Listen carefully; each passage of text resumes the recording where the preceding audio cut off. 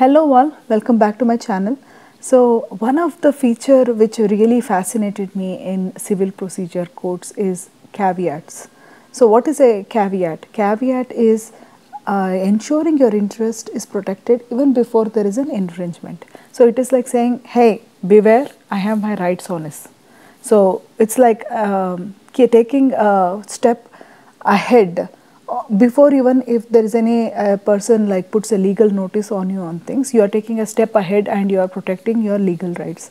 So that is caveat. I'll explain further what that means in uh, the later part of the video.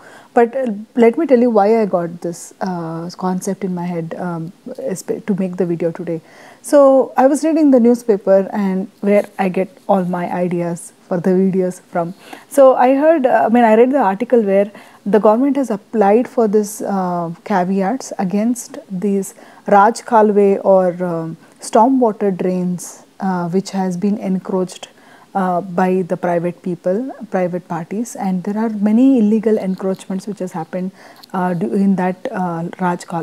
So because of which there are like a lot of we had recently we had a lot of issues where the storm waters are not draining out and we are having flooding and because of this illegal encroachments we are having uh, we had a loss of uh, 300 or 350 crores rupees of uh, property loss which is a huge so huge and not just that also risking lives of people and uh, uh, so because these water clogged areas are not getting any easement. So naturally if you see uh, Bangalore terrain it is very hilly.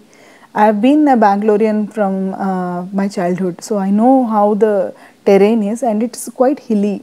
Before in fact when I was in school uh, time it was like uh, Bangalore was very chilly actually very cold. It was a it's a naturally hilly area and we had because of that only that Raj concept had came because we Bangalore was filled with lakes. We had many lakes hundreds of lakes and um, I have seen actually many places where the lakes were there before and then eventually it got dried up and then they converted that as sites and they sold them as um, houses and some even apartment complexes were built on that uh, where the lake used to be there before.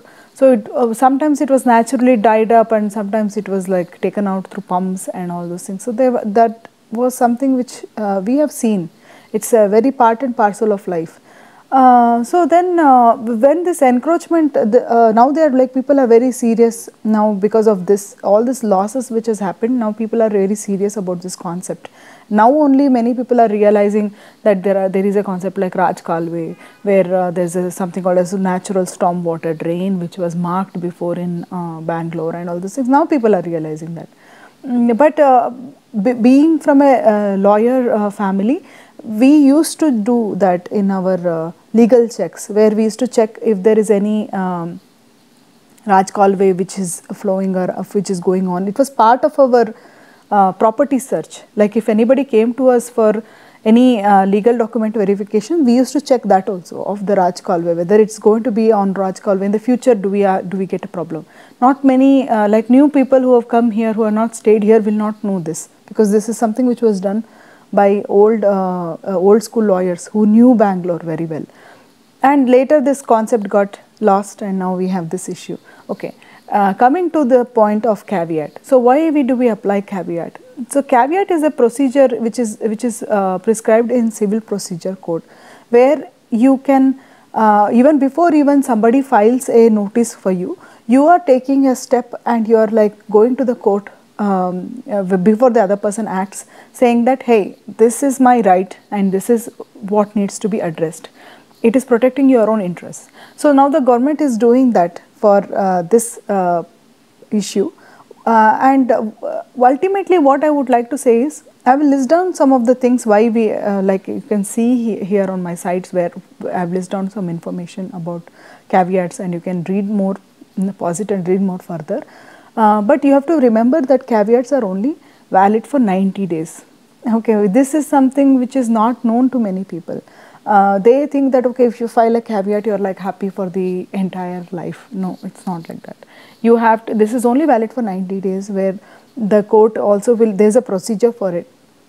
The court calls them and they will, uh, they will uh, have a discussion about what are the rights and privileges which each party owns and enjoys. But only thing is when we file the caveat, when the other person uh, has a, other person files a legal notice, you will get a little bit of an upper hand. So usually we recommend this for uh, those people who are um, uh, coming from session courts and district courts and uh, who think that the other party may go for appeals in uh, high court.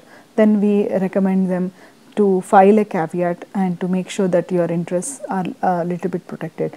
But again this depends on a different scenario, uh, what kind of civil suit you are filing for.